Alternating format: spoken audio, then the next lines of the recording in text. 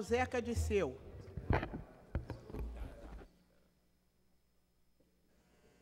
Deputados e deputadas, a todos que nos assistem pela TV Câmara e nos ouvem pela Rádio Câmara.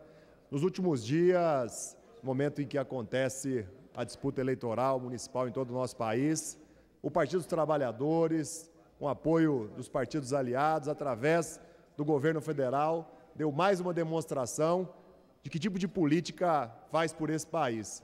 Maior redução já vista na história do país das tarifas de energia elétrica foi decidida pela presidenta Dilma e terá aqui todo o nosso respaldo e todo o nosso apoio.